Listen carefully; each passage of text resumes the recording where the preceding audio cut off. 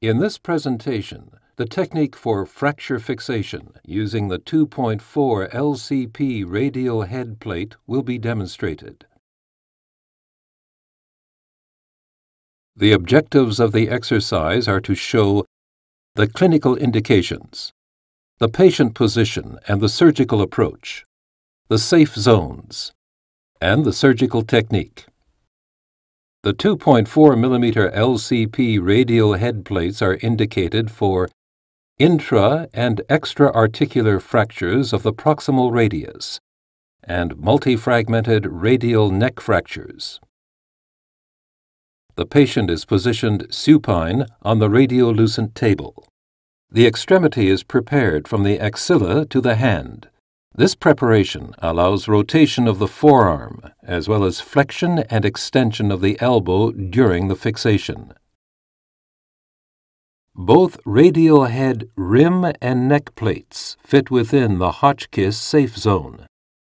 The Hotchkiss safe zone is defined as an area of 105 degrees on the radial head that is free of impingement between the ulna and radius. This safe zone is located on the opposite side of the radial tuberosity. This is a three-part radial head and neck fracture. The anterior fragments are reduced using the pointed reduction forceps. A thread hole is drilled across both fragments with the 1.5 mm drill bit.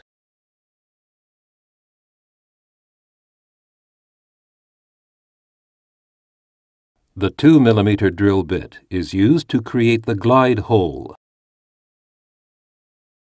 Since these two fragments are in the safe zone, the screw head can be left somewhat prominent.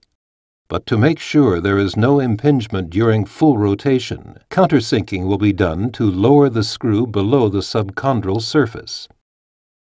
The depth of the hole is measured. Care must be taken when selecting the length of the screw because the proximal radio-ulnar joint is on the far side. Therefore, the far cortex should not be engaged. The depth gauge reads 26 millimeters, but a 22 millimeter screw is long enough to give cancellous purchase on the far side without penetrating the articular surface. The star drive screwdriver is used to insert the 2 mm Cortex lag screw, which compresses the two fragments. The screw head can be seen to lie below the subchondral surface. The forceps is removed and placed across the remaining intra-articular fracture. The next step is to insert a second lag screw. This screw will provide compression between the third fragment and the first two. The 1.5 millimeter thread hole is drilled first.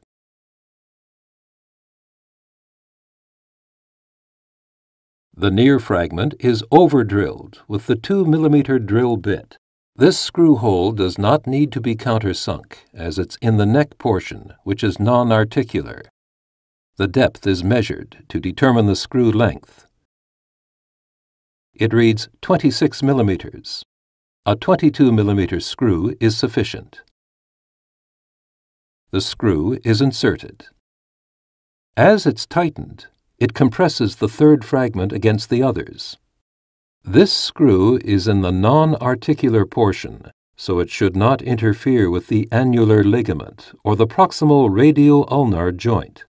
The forceps is removed. The threaded LCP drill guide can be used to position the radial neck plate.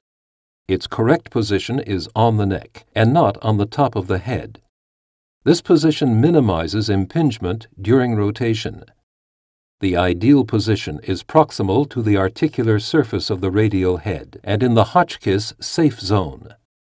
A 2.4 mm bicortical cortex screw is placed in the shaft of the plate through the DCU portion of a combi hole.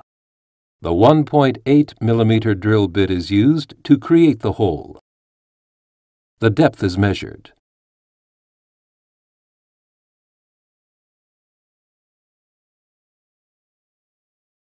The screw is inserted, but not completely. At this stage, the plate can still be adjusted by sliding it proximally or distally. The plate can also be rotated to a certain degree so that it fits correctly on the radial head and neck. When the optimal position is achieved, the screw is tightened.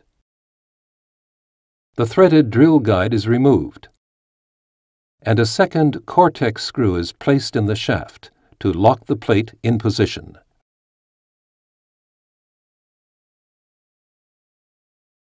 The first screw to be inserted through the head of the plate into the radial head is a 2 mm Cortex screw.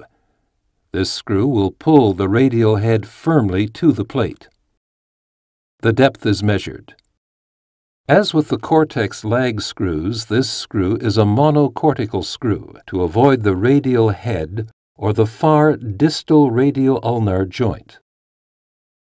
A 14 mm long screw is selected. The next screw to be inserted is a 2.4 mm locking screw. The LCP threaded drill guide is screwed into the plate hole. The drill guide positions the screw at the appropriate angle. A plate hole has to be selected that avoids the screws that were inserted earlier. The hole is drilled with the 1.8 mm drill bit. The depth can be read directly from the mark on the drill bit and the scale on the drill guide. Here, 16 millimeters. The drill guide is removed.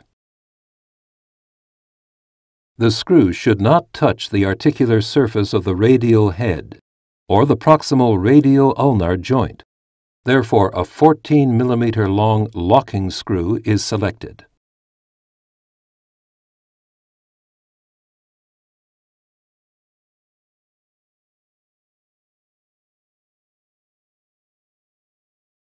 A second locking screw is placed at the appropriate angle.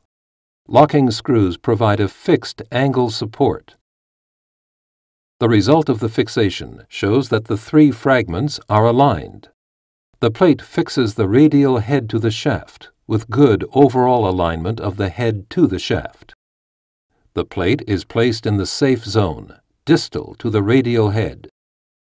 The first 2 mm cortex screw is recessed below the chondral surface.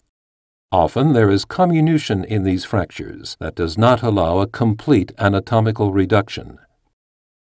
The angle of the radial head is aligned with the shaft. The radial head is not at 90 degrees to the shaft, but rather at an angle of 10 to 15 degrees to the shaft. After the alignment has been accepted visually, Fluoroscopy should be used to examine the elbow for stability. The rotation of the elbow should be visually inspected to make sure that the plate or screws do not impinge on the annular ligament or collateral ligament. This presentation has shown the clinical indications, the patient position and the surgical approach, the safe zones, and the surgical technique.